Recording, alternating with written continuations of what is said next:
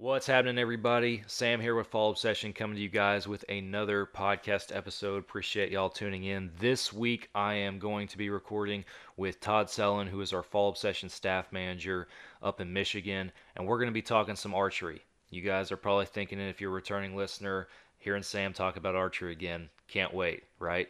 I'm very passionate about archery. I, I, love bow hunting and everything about it. And um, this conversation with Todd, we're talking about our new 2023 Omnias, the setups that we're running, our impressions on the bow, and the gear that we have. Um, really, really great setup, and I can't wait for you guys to hear our thoughts on it.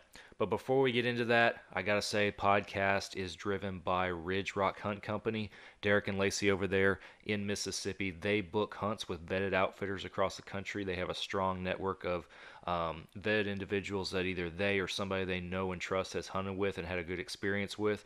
So if you're looking for that next adventure, you want to book with one of those outfitters that's known and trusted, give Derek a call. He'll work with you on everything that you need to do to get set up with them and uh, and try to figure something out that'll work for you. So Ridge Rock Hunt Company, go check them out. We're also partnered with the Outdoor Call Radio app. Outdoors Dan from Respect the Game TV.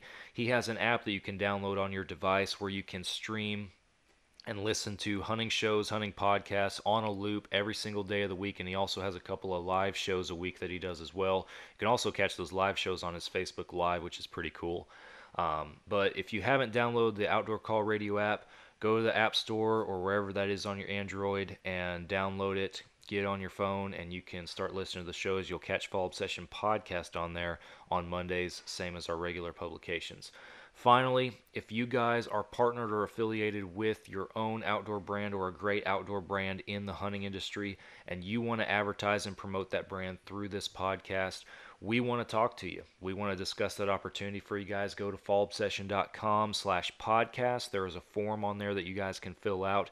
And from there, you'll be in contact with our production team and we can start talking about our analytics, our numbers, advertising opportunities through the show and what all that looks like um, from you as a partner. So if you're interested or know somebody that's interested, please let them know and send them to fallobsession.com slash podcast.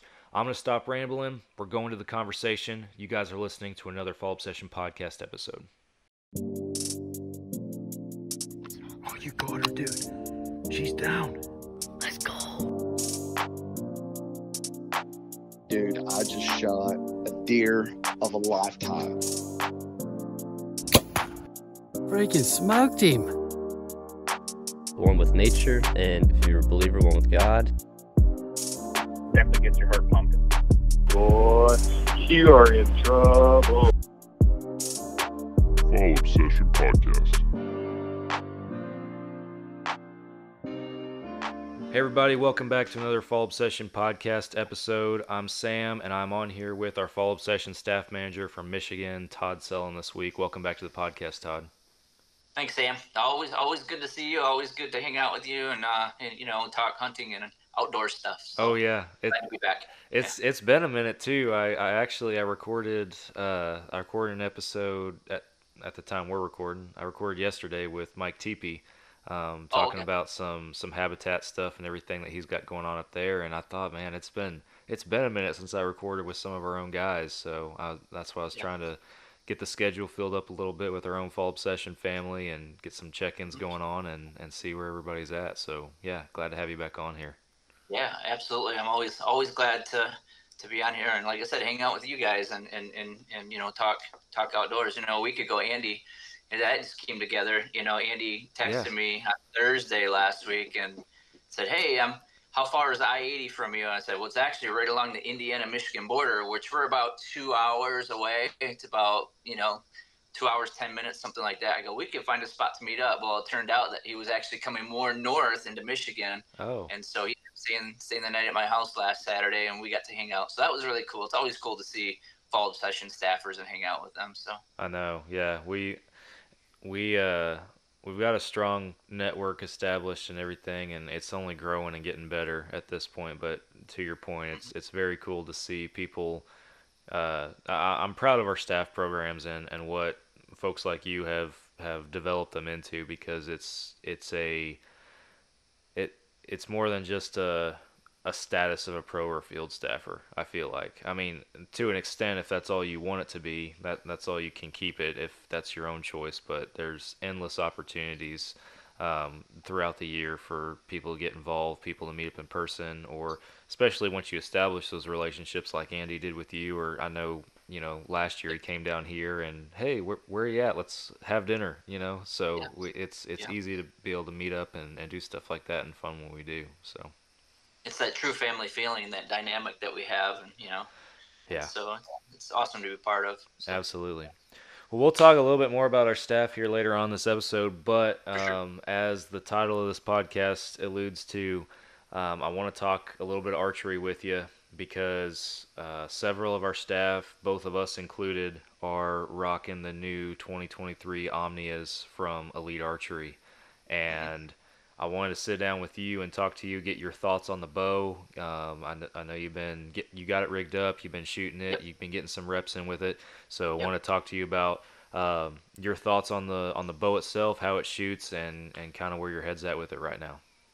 Yeah, for sure. It's an incredible bow to start off with. You Yeah. know, we, uh, you know, I had the Ember, um, which which served its, served its purpose. I wanted a shorter bow that was lightweight that I could move around in, in the tree, and and then my daughter grew into uh, grew up uh, to a point where she needed a bow, so Heather gave her uh, her bow, gave Tala her bow, um, and then so Heather needed a bow, so I said, well, why don't you take the Ember? and so she took over the Ember uh, last year, and so I was shooting my my I, tra- I transitioned my target bow into a hunting bow last year, and so that's what I used, and so um, so this year I have the Omnia, and and man, you know, uh, last year when I was down there with you, we were shooting a lot of different different elite bows, and and you know.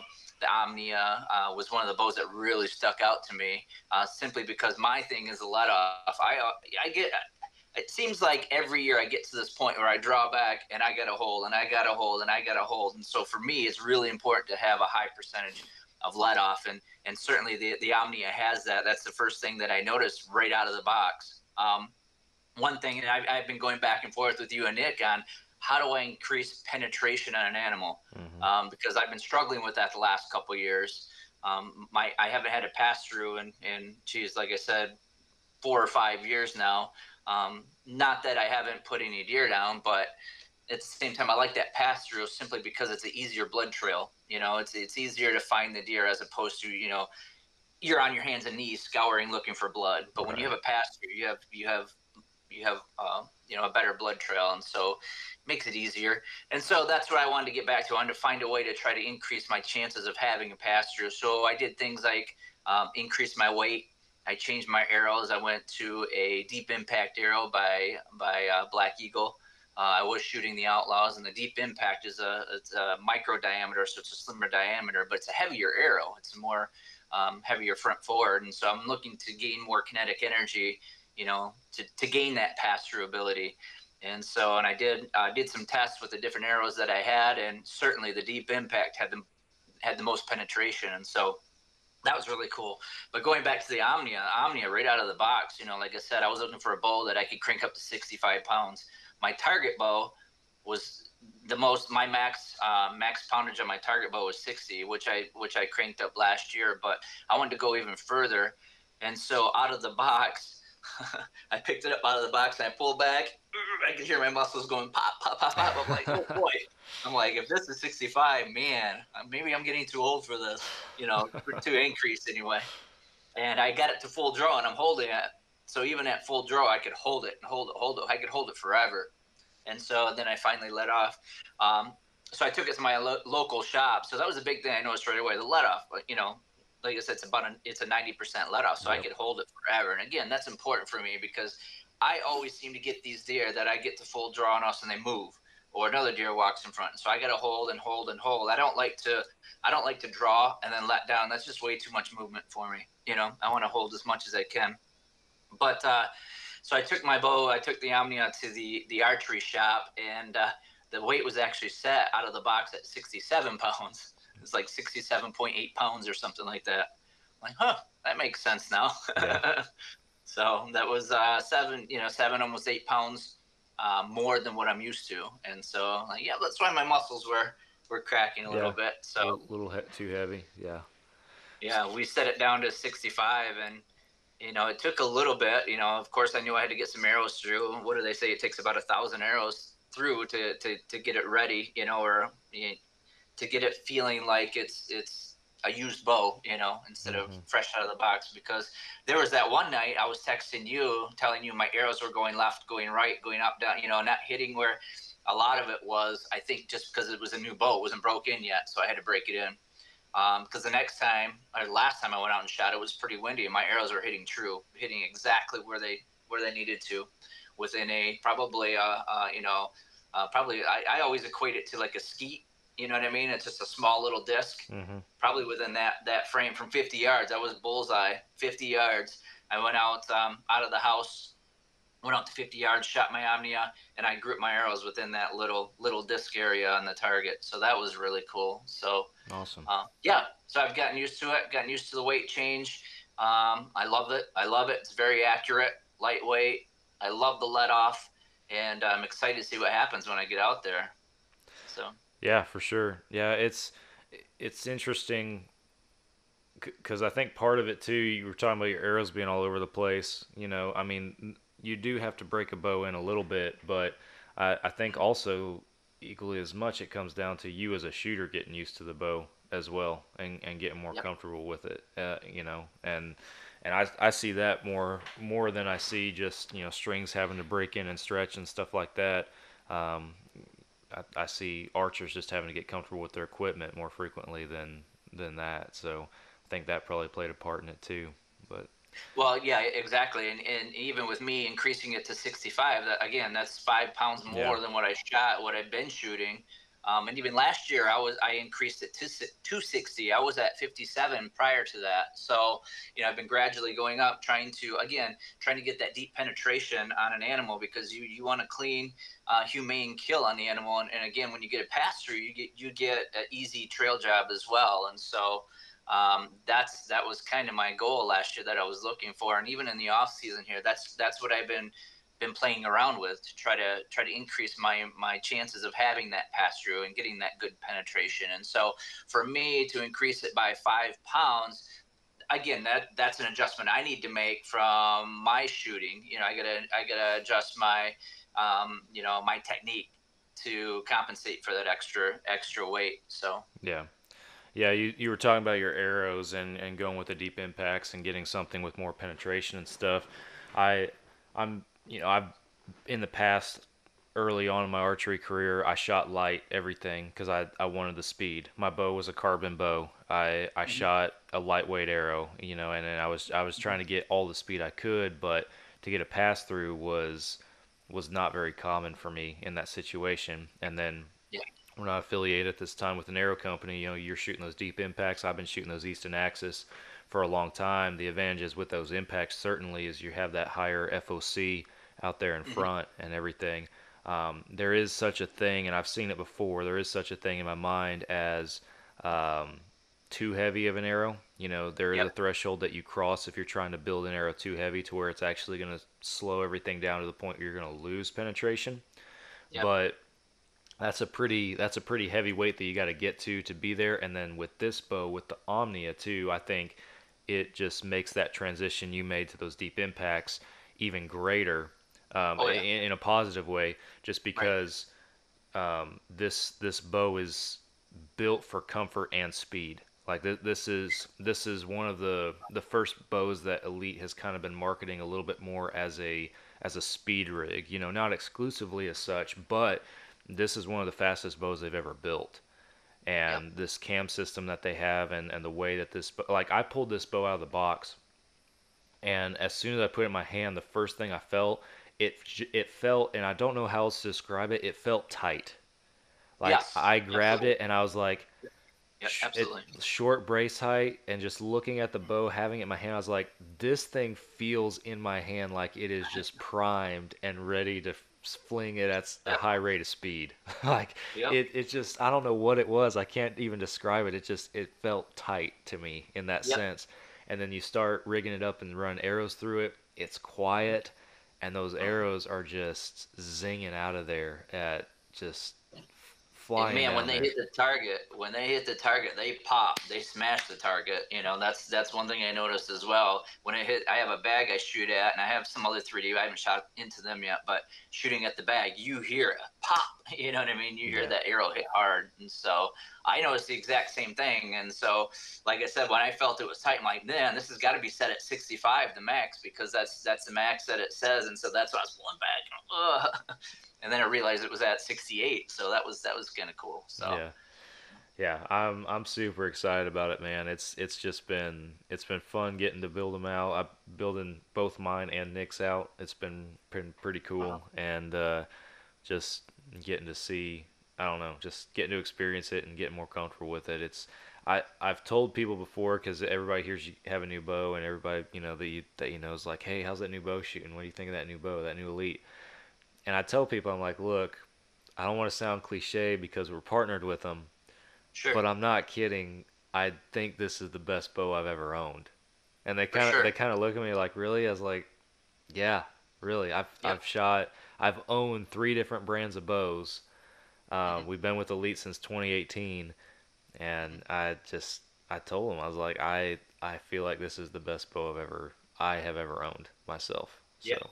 I, I 100% agree. 100% agree. When I uh, when I got my first bow, well, my my first bow was actually a Martin Martin Prowler, big old heavy thing that I got for my 17th birthday, and then 17 years later, I purchased my first bow, which was a Hoyt. Yeah, And the thing that drew me to Hoyt was I was shooting between Hoyt and Mathews was the fact that you could feel the power, you could hear the power in the arrows, you know, um, um, and so uh, that's what I realized about Omnia or the uh, the Elite Omnia as well. You could feel the power in the bow, you can feel the power, and so that's that tight that we were tightness that we were talking about. You can feel it. it's going to zip the arrows pretty good. yeah, Um, and then and then what attracted me to Elite uh, to begin with was again that high let off. I didn't have that high let off, high percentage let off with my Hoyt, and so what I would do is I get to my set point, and if I get a hold, then I start sawing. And I didn't like the fact that I start sawing because now your technique and your form is all over the place, and you're not set on that specific spot that you have to for your animal. And you know, I was kind of inconsistent at times on where I hit the animal, and so I wanted to make sure that I was as consistent in the field as I was when I'm on the archery range. And so yeah, again, when you have that high percentage let off, that's what helps with that. You know, that for me, that's what helps with that. And so that's what Elite provided. That was different. You could feel the power that I felt in my Hoyt, but now you have the the high percentage let off, and that's like I said, absolutely the best bow I've ever owned. So yeah. Um, did you go with the cable stops or the limb stops? uh, I got the limb stops on mine. Yeah. So yep. I, Yeah. I, I did the same. Nick did the same with ours. I- last my last elite, the Kure that I had, which also a great bow that I did like a lot. Um, I ran the cable stops on that one, and it shot fine. It was good. I just right. I, I wanted I wanted that rock solid back wall on on this That's one. exactly not, what I wanted. not that the cable stops weren't weren't solid. Like I, I wouldn't I wouldn't have run cable stops on that Kure if it if they it hadn't been solid enough in my mind. But I wanted I wanted to be locked when I was Right. at full draw, and so I put those limb Right. stops on there with this one. Right, and it's exactly why I went with it because when you get to that set point, boom, you hit it, and you're just locked right at your anchor point. Yeah. You know, I've shot bows before where you pull back and you get to the anchor point and you feel soft. Mhm. You know what I mean? You feel like you could keep going, and I didn't like that at all. You know, I wanted to hit that anchor point and just boop, Yeah. truly get anchored. You know, hit that wall. I've felt I've felt that before, uh, and I won't knock any brands. I, I think technology has improved a lot lately. Um, a, a while back, like you know, eight, 12 years ago, shooting bows, it, it definitely it was definitely more common. I think to feel that, and then I do feel like if you if you're an archer and you feel like your back wall is spongy in that sense, the first thing to check is just your cam timing because more than likely one of your cams is out of time, which just means that stop is one of them, whether it's a limb stop or a cable stop, whatever bow you have, one of those is hitting on that cam before the other one is, and that's where you get that sponginess. Is that second one trying to to catch up, and you're overloading that first one even, um, Gotcha, trying to yeah. pull through and get to that second one. So that's where that spongy feel comes from, which is why. Again, my tip for any archer that might be listening to this and be like, "Man, my bow feels like that." Have go to your local shop and have them check your cam timing because that that's probably and that's an easy fix if that's the case. So Yeah, for sure, for sure. Yeah. it man, it's it's an awesome rig. I'm super super pumped to be running it this year. What what kind of accessories did you put on? Are you running on So I put a, a CBA micro CBE microlight um, sight that I have, and, and I went with the microlight sight simply because seems like the majority of my action always happens right at dark. And there have been times where I've gone out, uh, where I've sat in my stand and I've had a nice buck come in. I can see vitals perfect, everything. They set up 20 yards broadside. I get my bow up and I can't see my sights. I can't see my pins. So I decided to go with microlight simply because it has that light on top, and then also has the five pins on it, um, so I can shoot out to six, about 60 yards. Um, and not that I look to shoot out to 60 yards, but what I've also realized in my years of hunting is the biggest bucks always seem to hang out between 50 and 60 yards. Mhm. And so, um, you know, I've, I've made uh, made an effort in recent years to make sure I feel comfortable out out to 50 yards with my bow. And so, um, I wanted more than one pin just because that helps me with yardage. You know, we've talked about single pins on my archer on my uh, my target target bow. I had one pin, and it, it shot it shot well. I was able to compensate with one pin up to 40 yards, but then I you know out to 50 60 yards it's a little harder to harder for me to compensate with one pin. So i wanted more than one pin. And then in my mind i thought you know if i ever go out west archery hunting elk muley whatever you're probably going to have to take longer shots like that. And i don't want to have to sit there and try to think of where my pin needs to go. I just want to be able to put my pin on it you know get get, get my shot off that way without having to think too much. You know what i mean i just want want that to um, to roll through. Uh, I have an elite. Um, uh, I have an elite. Um, I actually have a Scott Archery. You got Scott Archery hat, uh, Scott Archery Fang. Yep. The geez, I can't even remember what it was. I just had my oh right here. Nope, I lied. I had the list right here. I still do. So I had the. Uh, I got the just the elite quiver. It's a pure pure whitetail, and I picked the pure whitetail just because it looked neat. I like the camel pattern. It's So so I sharp, really like yeah. the camel pattern on it. Yeah, uh, I know you guys had a mixture of the, the greens and the tans and stuff like that, and I just I just I just like that camel pattern. I got a uh, so um, the the elite carbon stabilizer, and then of course the Omnia. Um, Are you oh, the running? tail end what it. I, I was thinking Fang, but it's actually the tail end release. So the Scott Archery tail end release. Gotcha. And I use that because I like the hook. I like the hook. I don't like the calipers. You know what I mean? Because for me, sometimes if you're if, when you get to the anchor point and if you happen to put pressure one side or the other, it might hit one of the side of the calipers, which might throw your string off a little bit, which now throws your arrow off a little bit. yeah. I just like a single the single hook to be able to loop into my my loop my nock loop and then just release it and it goes straight. You know. I, I've always been a fan of of the hooks. Um, I I still carry whenever I so before I shoot a thumb release now. Um, Yep. But before I switched over to that that and it's an Exus core, which is from many years ago. It's a Scott product, but I'm still I'm still running it mainly because I'm just I'm the kind of guy.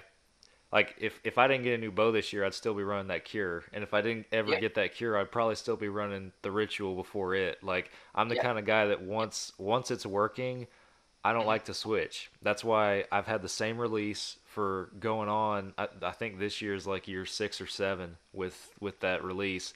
I've been shooting the same arrows for almost ten years. Like I just, it, you know, if it's something I like and that's working, I, I I keep it and it sticks around. But before I switched to that core, I was shooting a Scott. Um, and, and back then I forget what version it was, but uh, Sure. a hook release as well.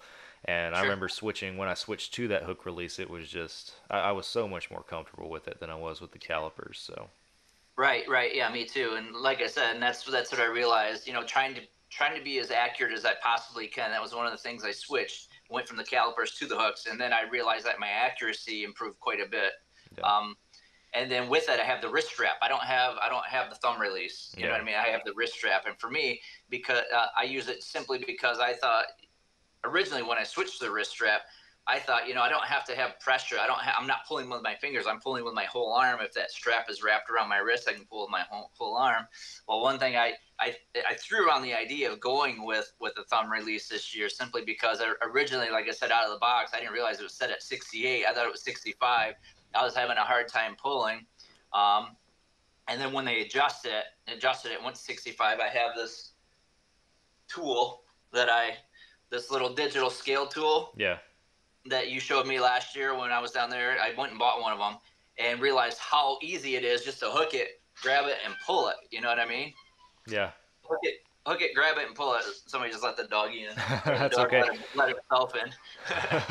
but uh, but uh, I realized how easy it was to pull it. So I thought, well, do I do I switch to that thumb release? And so I decided not to. I ended up sticking with the wrist release and just getting the reps. And yeah, I'm perfectly comfortable with it now. And so I'm back to feeling. I'm feeling feeling like I've shot this thing forever, you know, and I love it. I love I love the way it feels. So Yeah. Yeah, Yeah. I'm gonna I'm gonna move. Actually, I gotta release but it's sitting behind my camera here, so I gotta jump over here real quick and snag it. gotcha. I hate doing that on the podcast, but I wanted. So uh, this showed up unexpectedly in the mail um, Oh, from gotcha. Elite or the outdoor group. They're wanting uh, me to demo it and see because again, I shoot a thumb, but this Yep. is it's called the Verge, and Okay. it's it's a. I'll try to get it so you can see it there. It's a Yep. hook, but it Yep. has it has two slots for your fingers, and it it's a trigger. Like this is a trigger, but Uh-huh. it almost shoots like a back tension, almost, which is Okay. very very interesting to me. Um, Right. So I I'm I got to get this out and play with it. I wanted to get v- comfortable with my Omnia first and shooting Yep. it and and being you know good with it before I went and started playing around with a different release. I'm still gonna hunt this year with my with my thumb release, but I don't know. I'm really big on like follow through on your shots and you Yep. know not punching your trigger and like when I shoot with a thumb release, I mean Yep. I, my my pinky finger just hangs loose because it's just a three finger. So my thumb Right. is on the trigger, and I almost like I'm bringing my thumb in, but I'm almost closing my hand like this. I'm almost just Yep. closing my hand into a fist and pulling through my shot when I when I release with it.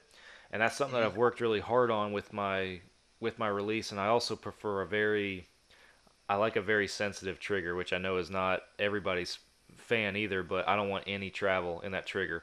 I want to be able to Right. place my thumb in, on it, and as soon as I start squeezing, I'm releasing. Is just Right. my my personal preference and how it works with my mind. So I'm interested to to play it around with this. That's a trigger, but functions like a back tension and is kind of does. I mean, target archers I'm sure will use it, but I think it's meant to And it's a wrist strap. May, wrist strap, yep. It's maybe Yep. meant to kind of satisfy those those hunters that are that like that back tension concept, but still want to Yep. shoot a wrist strap with a hook. So I don't know. Um, sure.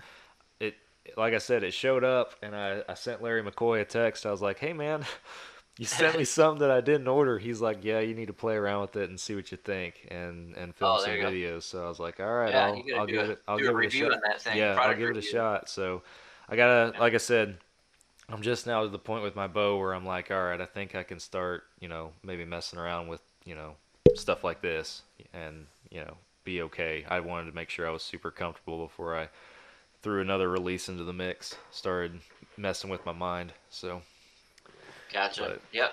Yeah, yeah. for sure. Like I said, find, like you said, you find what's comfortable and you, you try to stick with it, you know, as much as you can. And I just started tinkering around with some things this past year, just to, just because I had, um, you know, more goals in mind. You know, I, I've noticed some things with some of the changes I made in recent years that I wanted to try to get back to, you know, getting getting full penetration and that sort of thing. So yeah. Yeah. Yeah, the other the other thing I'm having to adjust and I'm I'm a little late to the party with this was I decided later on to change my my sight setup. Uh, Okay. Because when I rigged up my Omnia, I Uh-huh. put my my Engage hybrid from CBE Yep. on there that I had Yep. on my Kure because I love that sight. It's a five pin sight with the with the elevation tape and the adjustment. So you like Yep. your 60 pin is your floater. Yep. Shoot out to 100 yards, exact yardages. I love that sight. Right. Um, they sent me a Trek Pro two pin sight, which is Okay. Also has the tape and the elevation adjustment, but it has two pins and they're both floating pins. So Oh, wow. if you put your like if you put your tape at Mhm. 20 yards, Mhm. I'll make I believe I'm explaining this right. I'm I'm still learning. if you put your tape at 20 yards, um, it's it's good. Your first pin's 20 and your second pin's 30. If you put your if you adjust your sight all the way down to or, or how it, whatever that distance ends up being, if you adjust your sight down to let's say 30 yards, well now it's 30 and 40, and it goes like it's built all the way through what it, like your max. Like you could have a a 90 and 100 potentially on that thing. Yeah. So I was very intimidated, and I rigged it up with my engage because I was like, I don't know if I want to mess with that. I was Right, very timid, exactly. and I like it sat in my office for. and- And if Larry McCoy listens to this, he's probably gonna be laughing and, and cussing at me at the same time. But it sat in my it sat in my office for like two or three weeks because I was just intimidated by it. I was like, I don't know if I can do that. I don't know if I can go go to that. And so finally, I pulled it out and I was playing around with it. It is lighter, lighter weight than my Engage. It's still completely metal and everything though. And I was like, you know what? I'm gonna try this. So Yep. late to the game, I decided to make the switch to a different sight and rig that uh rig Just that with two pins, huh? rig that trek on there. Yeah, Yeah. so it's it's different. It's taken some getting used to. I, I think I'm gonna like it. I think I'm gonna run it, but Mhm. um, yeah, it was it was a little intimidating at first. So what do you have them set at? You have the first pin 20, 30, and then the then 40, 50? Yeah. Is that, what- is So that what you got? I, I, I have a I have a ten yard increment, and my thought my thought with that too is well if if I'm shooting like if I have a deer, the thought process. Let me back up behind the engage with the five pin right was right. I'm gonna right. have out to 60 already there. So anything Yep. 60 and under, like I can shoot my pin gaps in between and stuff like that. But the thought with this is, well, if I have a deer floating in that 20 to 30 range, hypothetically, if my if my tape is set right, then Mm-hmm. I can shoot the pin gap between those two pins. If I Yeah. have them floating between 40 and 50 or 45 and 55, whatever it is, I can move my dial and again Sure. have that 10 yard range to be able to shoot excuse me shoot my pin gap For sure. between those two marks. So I, Yeah. I I know we've talked on the podcast before with Mike Teepee about his Right. single pin mentality, and Yeah. he's a big Yeah. fan of the single pin, and he talked Nick Powell into the single pin. So Nick's running Yeah. a single pin, uh, same sight I have now, the the Trek Pro, but he's got a single pin. Um, gotcha.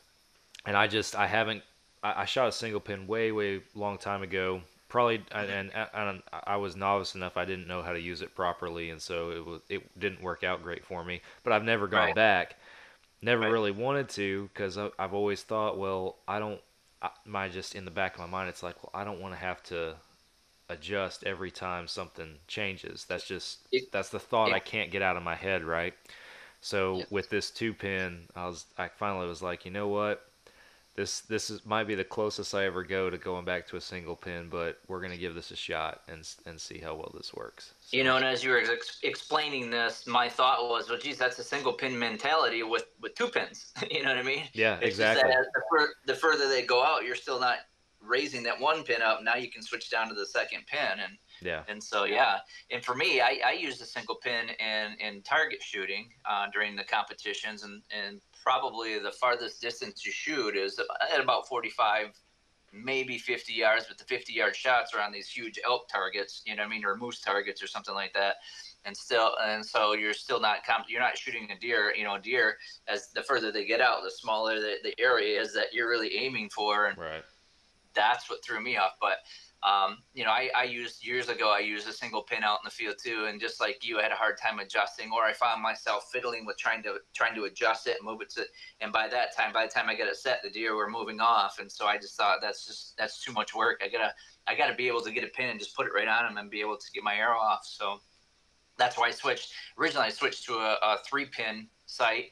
Um, so I had 20, 30, and 40. And now I went up to a five pin sight um, probably about three or four years ago, simply because, you know, in my mind, I thought someday I'm going to go out west. So I'm going to need to be able to shoot out to 60 yards. And so, um, you know, when I was when I was shooting target and, and participating in competitions, I haven't in the last couple years just because we were so busy in the summertime. But um, when I was doing that, I had a target bow set up with a single pin simply because you're not shooting at 50, 60 yards uh, consistently. And, and targets in the classes that I shot were 40 max, you know what I mean? It was easy to adjust a single pin. But um, um, on my on my so I had a target bow, and then I had a hunting bow, and on my hunting bow I have the five pins set up. So that was part of what I adjusted with my target bow last year. I switched the I had a had a TruBall uh, extension um, XL. Um, it's like a eight eight inch extension uh, sight on it with a single pin. I switched that out for the the micro micro light with a five and the light on it. Yeah. So so I have and Heather's bow has that micro light on it as well. I just love it. I just love it simply because you can flip that light on when it gets close to dark. Yeah. Um, you know, I think I mentioned this in the previous podcast. So my only concern is if I flip it on and there's a deer coming from behind me, can they see that light when I flip it on? I don't know. I, I don't know. I have no idea. So Yeah, I I mean, so you have with these lights, at least from CBE, you know, you have you have two. It, it's it, it's a fade, right? So if if you start from the low setting and turn it all the way up, it gets brighter and brighter, and then eventually it just rolls back over and shuts off. So Right. you can go back and turn on high to start, or you can go forward and turn on low. I, I encourage anybody to get in the habit of turn, making sure you have the muscle memory to turn it the direction you want to turn it, which in low light should be low. You don't need it beaming high. If it's dark outside, the low is going to give you all the illumination you need. The high is is meant more for like people who have a a one one thousandths pin size or a yeah point oh make sure I'm saying that right point oh one or or how I- Yeah. yeah you know I exactly what you're saying. you Yeah, know what I mean. Hopefully, Yep. people do. Yep. I'm, I'm confusing myself, but um, the the one nine people that have the bigger the bigger size pins, you know, obviously they're gonna they're gonna hold a little bit more light. They're gonna be just a little bit brighter to the eye. But if you are shooting, and this is probably gonna be the most common for somebody, if you are shooting in broad daylight but shooting towards the sun, like if it's Yep. morning and you're shooting east, um, Yep. and you have those smaller pin sizes, well, just with the glare from the sun, you might not be able to see your pins very well. Which in broad daylight, you can turn that light on the high setting, and it'll illuminate them those small pins to the point where you can Right. see them a lot better. So Yeah, I've had it before shooting, like you said, into that sun, and, and my my pins light up so much that you look through your peep that that that color is filling up your entire peep, and it's like, oh, you know, yeah, you to try to figure out how to get it out of the sun a little bit so Yeah. you can see the animal that you're trying to aim. I've always had my floating pin, which is my bottom pin in these five pin sights that I've had up until now. I've always had it as the smaller pin size. And Mhm. this year with that with that Trek that they sent me, both pins are the smaller size. So that was Oh, the other thing that was discouraging for me as I opened it up inside the house. I was like, I was holding it out in front of me. I was like, my eyes aren't that bad. I, c- I can't Right. even see those pins. And so I, I was, it was super confusing to me because I was like, I've never had this problem before. And finally, Right. took when I took it outside and got in natural light and full sun, I was like, oh, I can see them now. That's what- that Yeah, had me yeah. worried for a second. yeah, for sure. Well, mine mine is my age, so that's why I asked you about that lens. You know, yeah, I asked you about the lens a couple weeks ago, and and so it was, you know, like I said, I'm hitting consistently, so I don't, you know, I just I just thought it might make it easier if I had the lens to be able to magnify everything. I just didn't know if if, if uh, CBE had a lens for the microlight, so. yeah, Um, I saw they had them for the other ones, the Trek and the hybrid and stuff like that. So yeah, yeah. We'll figure that out. The Yeah. uh, yeah, it's it's gonna be an interesting year, and I'm certainly excited with the bows that that our group has gotten set up with. It's it's gonna be pretty cool. It, it was funny because I think you, you Drew, and uh, Nick Latham, y'all all got camo versions. I think Drew. Yeah. I don't remember what pattern Drew got. You and Nick might have gotten the same pattern. I don't. I don't. I'm the pure white tail. yeah, I'm not. Sh- not I don't Yeah, remember yeah. on that. But then Nick Powell and I, our bows are identical. like Right, right, right. same same draw length, same draw weight, same Oh, color, same accessories. So when we were rigging Uh-huh. them up, it's like, all right, what accent colors are you gonna do, and what accent colors am I gonna do? So he went with green, I went with orange. So we can at Uh-huh. least, if they're side by side, we can tell them apart. Because other than that, Right. again, they're identical. So Mhm. that was, and and people like looking at us like, oh, y'all are Twinkies. Y'all, Yeah. y'all decided to do that because Almost, yeah, is that the Texas Dirt Bow or what's going on with that? And it's like, no, I, I was like, I put in my order and he sent me what he wanted, and it was Yeah. exactly the same. Like we didn't, So- we didn't plan it. So next time we see Nick, he's gonna have a handlebar just like you, and no, that that's the that's the one thing that uh, and when he listens to this, he'll laugh. But that's the one thing he can't do. He can't grow a mustache to save his life. So. okay, so we'll have a half handlebar. Yeah, there you go. No. Um, yeah, my accents. I try to go with fall obsession colors just because I wanted to. I wanted to rep. You know, just I, I love the black and orange orange concept that we have with the company, and so uh, they didn't have any orange, so Oh. I ended up going ended up going with blue and red. So I got a blue and red concept for access because I thought, well, elite elite their main color is blue, so I'll, I'll keep that blue. Yeah. And then I threw some red on there just because um, when I'm pulling my my peep is red, so I thought pulling my peep anything that makes it stick out a little bit more it takes a lot of thinking out. If you can just Yeah. you can see the red coming right at your face, you can get your anchor, anchor point right away. And Yeah. so, uh, so yeah, I am blue and red for my accent colors. So. Yeah, I, I've evolved. I uh, I've always been like on my bows, just ever since my first bow. It's always I've always blacked everything out. I've always been big on on just Mhm. you know the the ninja black. Even if the bow itself, like my Kure, was green, all Right. my my servings and everything on it was black. Um, and then my arrows. I went through a phase. I at first I just take whatever Blazer vanes came on them when I bought the arrows and everything, and then when I started fletching Right. my own arrows, I was like, I want these things to be crazy. So for Yes.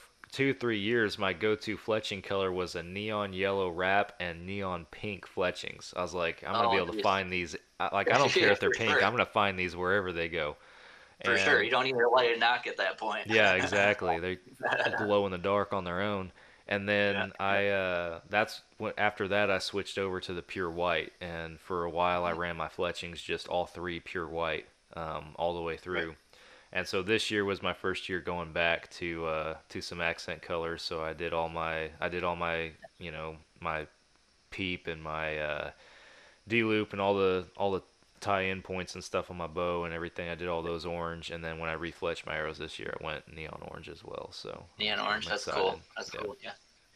Yeah. yeah. they had uh they had uh the peep red, blue, or black. And I'm like, oh, I just had blue on my old bow. I'll go with I'll go with red this time. And then, like I said, just because I was looking for orange because I thought the brighter color would be easier to, to find it without having to focus on finding it. You know, Yeah. uh, you know. But you shoot enough, you you don't really have to focus on that anyway. You know. Yeah. And so, but um, thought it'd be cool, and I, I've done that for a couple years now. I, I matched the bow color with the peep color. I've done I've done different. I've been tinkering around like that just because I like I like you know having different types of accents to stick out and stuff. So I just think it's cool. So yeah, for sure. so when people so when people when you set your bow up, you have options.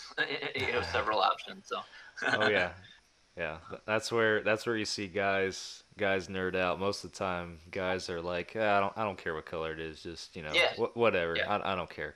But the Yeah. two things that I see guy, or I, I guess I'll say three things that guys are picky about with their colors are their trucks, their guns, and their bows. yep, yep, exactly, exactly. So Yep. Yep. Yeah, we were, we were. Yeah, Heather wants to repaint our bedroom. What color do you want? Doesn't really matter. whatever you want, baby. Whatever you want. Yeah. Well, Todd, So- um, we are like I mentioned. You're at the beginning when we introduced you. You're a staff manager, and I know you've been on here before, even though it's been a minute. You you uh, Yep. you are the the guy that makes everything happen in in the realm of our staff programs and stuff. So, um, for sure. what uh, I'll I'll turn over to you and let you talk a little bit about kind of where where we're going with with some stuff this upcoming fall. Where we're going, we have, you know, we have the series going. You have Texas Dirt. We're working on right now. Um, in our last meeting we had a couple of weeks ago, um, you know, getting couch chats going again. We got a couple ideas floating around right now to try to get that up and try to incorporate more people from from various regions. um, getting more people involved in, in couch chats as well. And so we have a couple ideas floating around with that. So we're trying to get that, help you out and get that going again. Um, our staffer programs, um, you know, we have, what do we have, like four in the loop, four new staff that we're, we're going through the process right now with. So, and it seems like recently we've been getting, you know, applications in daily. And so that's, that's kind of cool. I think everybody's starting to get into that mentality that hunting seasons come around. How do I get more involved in the outdoors? Oh, wait, I can get involved in the outdoor industry. And so, yeah, we've had a, geez, I want to say we've had probably um, close to 10 applications in the last two weeks. So, I mean, uh, we have a whole bunch that are floating in right now. And so that's cool. And we're, we're getting our name out geez, through, through Carbon TV, um, you know, through our YouTube, through our series that we have going on. We have our name out there nationally. We have uh, Bradley just texted me uh, this past week. He said he was up in Nova Scotia and he was at his local pro shop and he had uh, a follow up session uh, had on, and he said a guy came up and said, "Hey, I listened to those podcasts." So that's in Nova Scotia, Canada. So that's, That's awesome, Like man. I said, we're getting our name out. We're getting our name out, and it's it's very exciting to see how fast and how far we're starting to grow. Um, and our staffers continue to do just an awesome job creating content and getting that content sent in. And then, of course, we're able to publish that and, and continue to to brand ourselves and and enjoy the outdoors and enjoy our experiences with with with our audience. And so that's a that's a really cool thing. And so, like I said, so our staff, you know, our furthest east eastern staff members in Nova Scotia. Our fur- furthest western, I believe, is in Colorado. We have one in the loop that's from Washington State. We're kind of working on right now. So, Yeah. um, so we're coast to coast. You know, uh, we're north to south, so Yeah. we're all over the place. So it's, It's- really cool. It's really exciting. It's really cool, and and af- I recorded yesterday with Mike TP, and um, Yep. him and I hung out after we were done, uh, you know, Yep. recording for a while and talking about stuff, and just just seeing the you know the evolution of of Fall Obsession and where the brand has gone in just the past several years. It makes me excited for the next few years, and just just to see. Uh, you mentioned Bradley up there in Nova Yeah. Scotia. We had a similar experience when Nick and I were at Cinnamon Creek setting up Uh-huh. our rigs um, down here. Like uh, Cinnamon Creek is is great friends of ours, and they let us use their tech room and everything to to rig our Yeah. stuff up. And we, I mean, we you know polite politely and quietly stay out of their way, you know, in the meantime. But we're rigging sure. these two bows up, and this one guy comes up to us, and he's like, uh, and I, I forget what what I was wearing, like what I was repping at the time, but he comes up Sure. and he's like, "Hey, y'all are the y'all are those Fall Obsession guys, right?" And my Nick Nick like we both just kind of stopped and looked at each other like, "Wait, wait, what's what's happening?" Right, we, we didn't right. expect it at all, especially at the bow shop that you go to all the time. You know, you Yeah. you just you just it, it just doesn't happen like that. So he's like, "Yeah, I, I listen to the I listen to the podcast and I've watched y'all shows and everything." He's like, "Y'all y'all are doing good stuff," and he he was like super excited to meet us, and it it Yeah, just it yeah. felt backwards to me. It was it was not. It, Yeah, it didn't. like, I, I just just- like I'm like okay, I didn't know what to say. I was like okay, Yeah, thanks. thanks. I watching. yeah, thanks for your support. Yeah. So We had that at uh, Crane Camp last year when we were out in um, in uh, uh, Lubbock, Texas. Those guys that were in the lodge next to us, we explained. We were talking to them, and they're like, "Hey, you got a group of guys?" Like, yeah, we met through Fall Obsession. Like, oh, you guys connected through Fall Obsession? We're like, yeah, we're staffers, and oh my gosh, we watch Fall Obsession all the time, and they were from the Houston area, and so that was a, a cool connection we made with with that group as well. They they they watch our podcast and stuff, and so you know, and that was my first sense of wow, we, we really do have our name out there, and that's that's really cool. And it's very exciting to, to see that we're growing so much. So It is, and then just also, and talking a little bit about our staff and our staff programs, just the the quality of individuals that make up of our staff, just the good Mhm. people that we have are are incredible. And I, I was thinking about this after I recorded with Mike and after we got off the phone last night. Um, I was just kind of sitting down and reflecting about it and thinking about it, and I we talked about uh, habitat management and a bunch of stuff relevant to that. And if you guys are listening to this podcast, it's probably the episode before this one, if you guys want to listen to it. But um, we're we're talking about it, and, and or I'm thinking about it, I should say. And I thought, man, I've gotten, I've had the privilege of being able to record with a lot of cool people, but a lot of very smart people in the realm of whitetail management through this podcast. And I started thinking about, okay, who who are the people that have really made an impact on me through whitetail management? And I was thinking about, you know, Emily Shad, um, Outdoors Dan from Respect the Game, e- even like Derek Eves from Ridge Rock. All, all those people are very smart when it comes to whitetails and whitetail behavior. But then I was like, you know what? Everybody always like for a show host or a podcast host, you always want to go out and get the big name. You always want to get a big name guest on your show and, and stuff like Yep, that. You yep. you want Yep. you want that that reach, you want that knowledge that they have and stuff. Yep. And Mike Teepee, just in my mind, he's probably one of the smartest guys I know when it comes to whitetail management. And the fact that we have him on our staff as a part of our Fall Obsession family Mhm. and on our show so often and everything, I'm like, man, I, I can't beat that with any big name guests. The the, Right. the knowledge and, and the, what he has to bring to the table when it comes to whitetail management. I, don't get me wrong, I'd love to have big name guests on here to, to talk about that stuff too, but Mhm. I, there's no there's no tier above what what he's able to bring to the table in my mind, at least. Well, it, sorry, go ahead. Well, and, and I was just gonna say it's so cool because just across the board with our staff, if you want to know something, like you can pick up the phone and call somebody. I mean, Sure. yeah, like if I want to know anything about elk hunting, I'm calling Tim Burgess is my first phone call. If I want to know Yep. anything about whitetail management, whitetail habitat, whitetail behavior, Mike Teepee and Tyler Wolf are both probably going to get a phone call from me Yep. like, exactly. it's it's all just within our own house and it's super super cool that we have that we have that going on over here And what's, what's exciting to me about our staffers, um, all the talents and all the skills that they possess, um, not just you know going out and hunting and, and managing, but you know, like I said, we've talked about technology. For example, you got Nick who runs the the production. Uh, production department, but you have several other staff members. You mentioned Tyler. Tyler, that's what he does for a living, and and to see his skills come out and when we film when we're on uh, in camp for example that that crane hunt when we filmed when we were actually at camp he was he was directing us and telling us what shots we need to have and and what we need to talk about and hey we'll go back and and and remember how you mentioned this? Go back and expand upon this. So he was really the the director of that production. And so that was that's really cool to see that audrey down in down in audrey topping down in florida she Yeah. has a lot of really good skills a lot of good writing skills.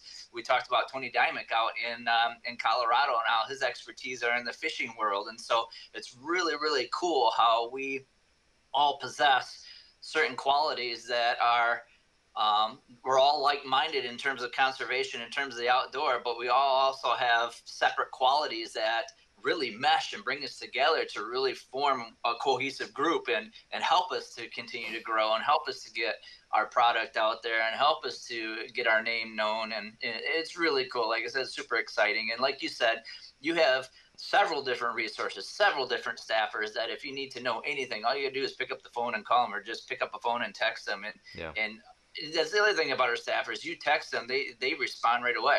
It's not like it's not like sometimes you know when you're trying to contact somebody through the business world it takes a day or two you know or, to, or to, me. to yeah, i'm horrible at texting i'm horrible. Well um, so you, you know what i'm saying but it, it, it's just really awesome to have that resource and that, that's a big part of why I, I wanted to become a part of fall obsession to, to be able to have those resources to be able to expand myself as a hunter and, and grow myself in the outdoor world so. Yeah. It it's an awesome journey. It's far from over and i i'm excited like i said to see where everything goes not just for the brand but for our staffers and, and all that kind of stuff. This we're we're about to start a new staffing year and it's gonna it's year number nine with uh Yeah. with a crazy? some form of staff program which is which is pretty incredible too to, to think That's about that and how far we've come and um, I know I know you and Heather came on the scene year two or three or somewhere in there having Yep. the staff program, but I, I Yep. always like to mention it. We our first field staff in 2015 was made up of 10 people, and out of those Yeah. 10 people, there are still two that are on our roster. So I think that's that's pretty awesome as well. That's pretty cool, yeah. And with these new applicants that are coming in, I've seen this several times already. Just the way that we bond with each other, that they they they want to become a part. Because there's a question on there: Why do you want to be part of Fall Obsession?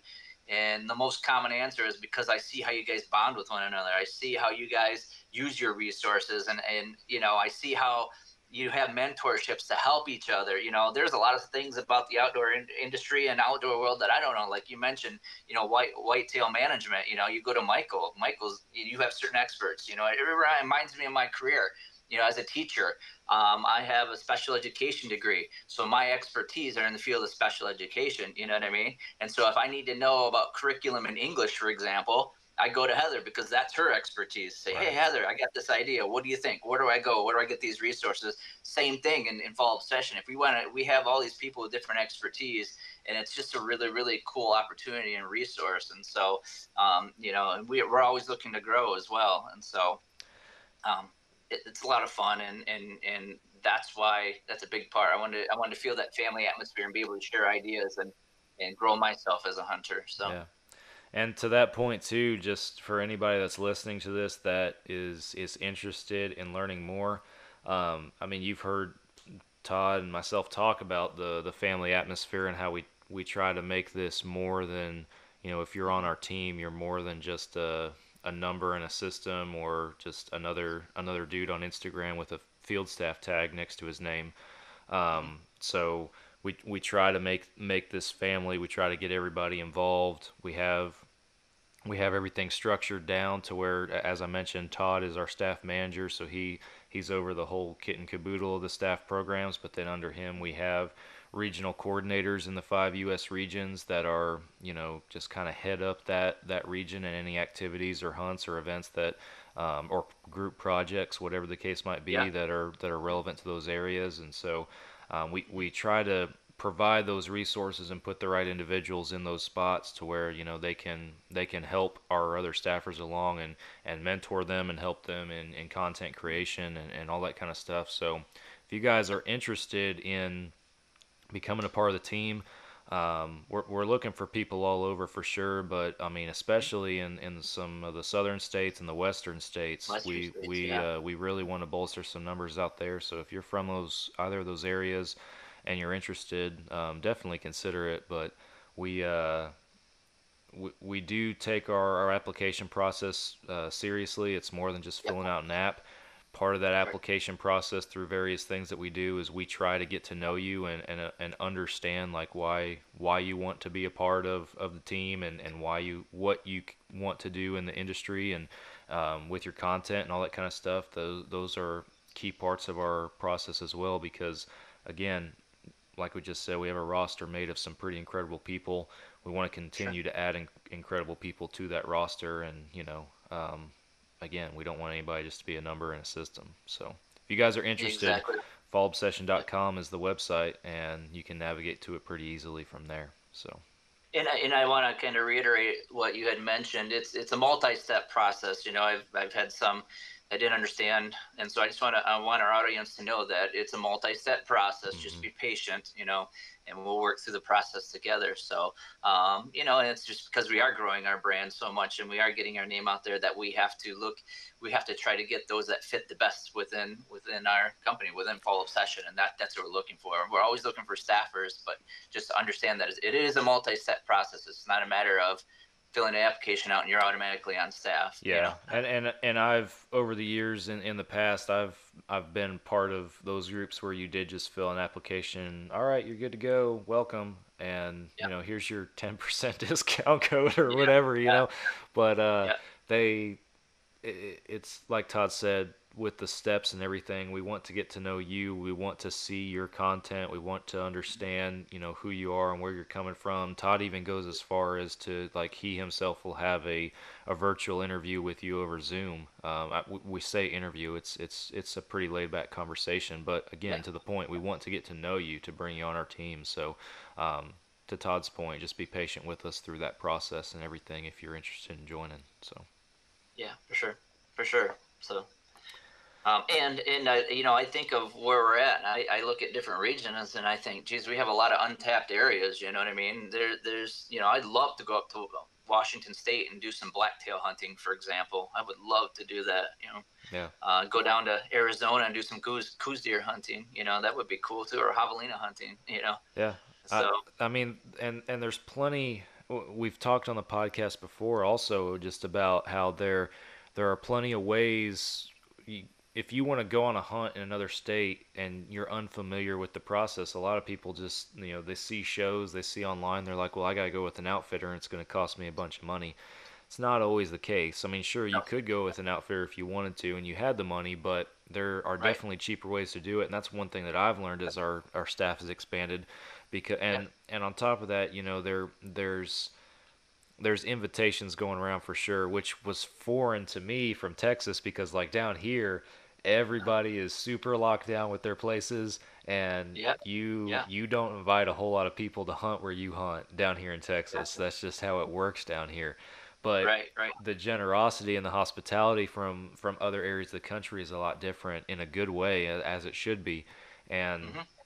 like eh, for the past several years I've, I've told nick powell several times i was like man we we get we as just a group as fall obsession in general everybody we all get invited to go so many places every Uh-huh. single year like I, I can't do it you know and, Yeah, and, and, and it's that's and that's the thing because and I know you are you're on top of it too with trying to put stuff together with you know you know bear hunts crane hunts snow goose hunts Yep. deer hunts you know all, all this other d- different kind Yep. of stuff that that you that you try to help bring to the table and stuff and then you know like this year Michael and I are going to hunt with Tim. We're gonna hunt mule deer in Colorado, which I'm Yep. pumped about. But I say you gotta be excited for that. I, I'm Excited getting more excited by the day for sure. We're gonna do a podcast beforehand and talk more about it. But it uh, Are you archery or rifle? so I'm archery.